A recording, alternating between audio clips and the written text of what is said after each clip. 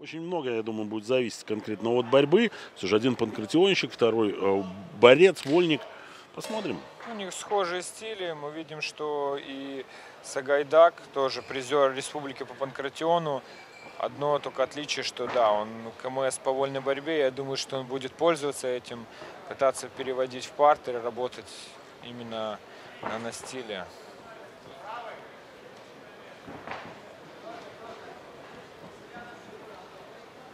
В разносторонней стойке. Да, видимо, у нас э, Руслан Сагайдак левша, так как держит правую ногу впереди.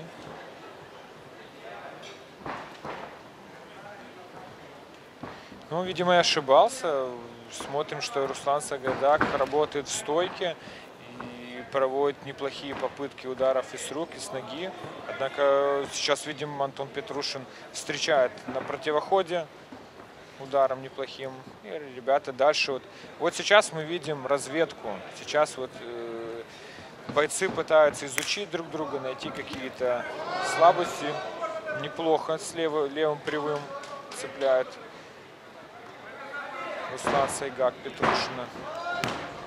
Вот и борьба. И сразу же захват на гильотину, причем неплохой, надо сказать. 3.40 сейчас не очень хорошо видно. Ну, нет, Из этого нету, плана? нету хорошего контроля ногами. И положение сбоку. Да, на месте Петрушина нужно все-таки вправлять ноги, чтобы провести этот удушающий прием. Ну, а Руслан, э, Руслан Сайгак, да, видим, что пытается сесть на грудь.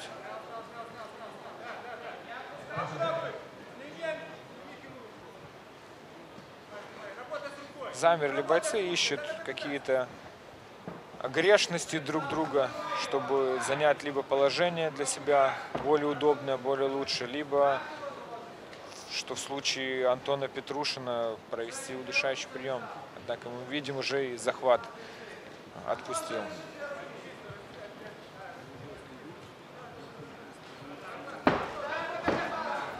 Много у нас сегодня боев проходит именно вот в партере, когда бойцы занимают хорошее положение, либо сбоку, либо сидя на груди и проводят ground and pound.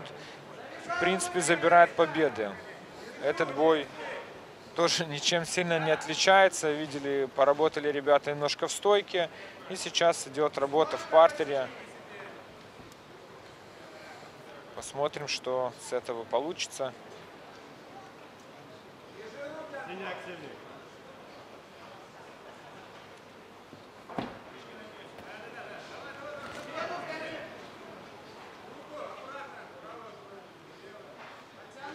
Пока тоже достаточно монотонная работа, вязкая. Я думаю, что если так и будет э, проходить, то рефери поднимет стойку.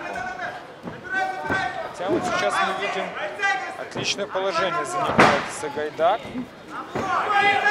Есть возможность выйти на треугольник. Да, похоже, он изначально это и планировал.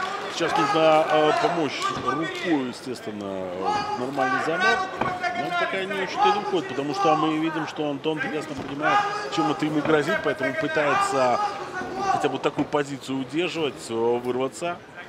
Чем ближе он будет, э, вот сейчас, как в данном случае, э, более вероятность того, что у Сагайдака получится взять треугольник как следует.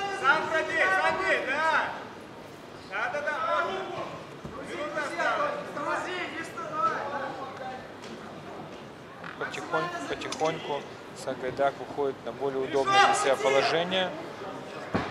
В принципе, с это положение можно и добивать. Почему не пользуется этим Сагайдак, непонятно. Все. Да, сдача. Все, сдача, ну, прям скажем, все же именно тот захват, который нужен был, искал Руслан.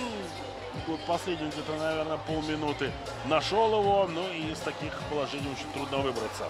Поэтому поздравляем а, бойца из Жлобина. Он становится финалистом гран-при весовой категории до 66 килограммов и будет биться с Рустамом Махамадом. И Ну что, друзья, давайте победа одержана второму в первом победителю и раунде. финалисту Гран-при весе до 66 килограммов, который приемом треугольник победил в этом поединке.